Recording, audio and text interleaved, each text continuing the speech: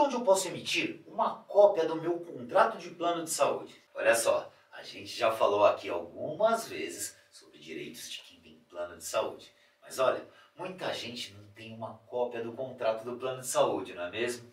Bom, só que não ter essa cópia não quer dizer que você vai perder os seus direitos. Então, o que tem que ser feito é a solicitação de uma cópia desse contrato com a operadora do plano.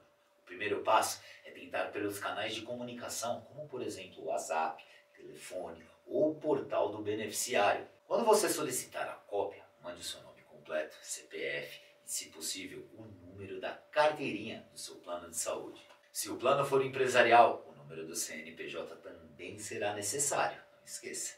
A dica é pedir pelo menos em dois canais diferentes, porque se a operadora por algum motivo não viu seu pedido e não mandar a cópia, você tem outra opção solicitada também.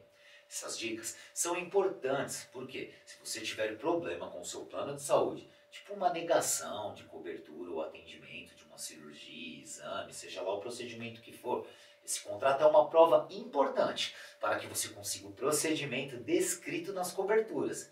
Então, se você está passando por alguma dificuldade com a operadora do seu plano de saúde e você fez contratação do seu plano com o time da Compare Plano de Saúde, é só entrar em contato conosco. Nós vamos solicitar urgentemente para você a cópia do seu contrato. Compare Plano de Saúde, compare, contrate economize para sempre em planos de saúde.